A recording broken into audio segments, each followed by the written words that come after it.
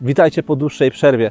Przerwa techniczna miała trwać e, w sierpniu, bo miał być remont. Rzeczywiście remont był w sierpniu, wszystko się udało, tylko jak to z remontami przedłużyło się na wrzesień, a od października do listopada dwie kwarantanny plus chorowanie i efekt mamy taki, że bardzo długo nie wpadł żaden film na ptasią strefę.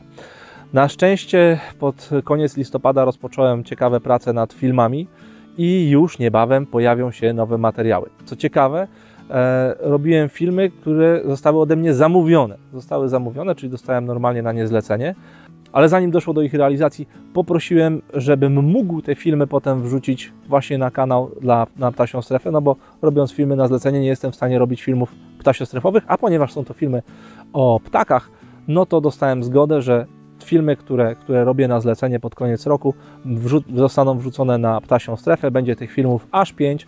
Na chwilę obecną nakręcone i zmontowane są już 3.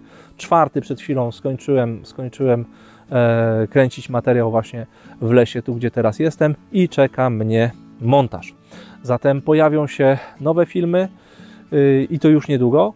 Uwaga! To, że filmy zrobione na zamówienie znajdą się na kanale, zawdzięczamy subskrybentom Ptasiej Strefy. Dzięki temu, że jest Was już 20 tysięcy, zamawiający chętnie przystają na to, by film publikować także tą drogą. Z tego miejsca wszystkim subskrybentom serdecznie dziękuję, a tych, co jeszcze nie subskrybują, zachęcam, by to zrobić.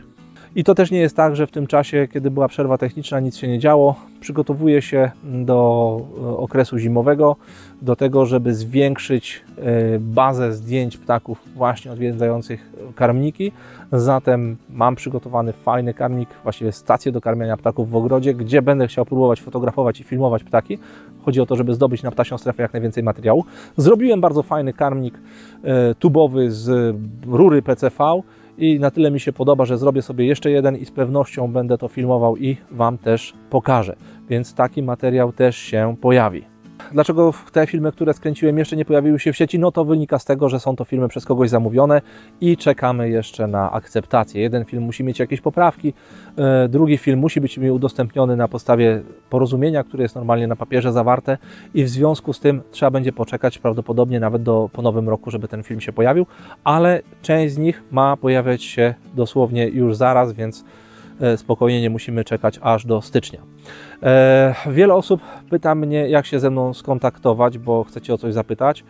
E, jest to oczywiście możliwe, da się to zrobić. Są dwie drogi. Jedna to jest mail ptasiastrefa.gmail.com tam można pisać, a druga to jest przez Facebooka, gdzie należy pisać do mnie wiadomości na profil Ptasiej Strefy. Nie na mój prywatny Jakub Typiak, dlatego że tam jak będziecie pisać, Wasze wiadomości trafiają do folderu inne, do którego ja strasznie rzadko zaglądam i jest szansa, że tam po prostu one przepadną. Natomiast jeśli napiszecie na Ptasią Strefę, y, jest duża szansa, że odpowiem. Zdarza się w momencie, kiedy mam naprawdę bardzo dużo rzeczy na głowie, że nie zaglądam tam regularnie i wtedy na tą odpowiedź trzeba poczekać i zakładam, że jeśli Was o tym teraz poinformuję, no to jest to uczciwe z mojej strony. Natomiast generalnie staram się odpisywać w miarę możliwości na bieżąco. E, więc jak chcecie tam, to, to piszcie tam. E, może być problem oczywiście, kiedy ktoś, nie wiem, pisze ze sprawą, że znalazłem ptaka, co mam zrobić.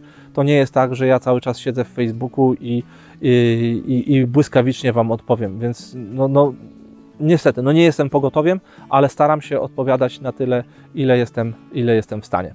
Uwaga! Od 10 grudnia nie działa mi możliwość odpowiadania na fanpage Ptasiej Strefy z telefonu.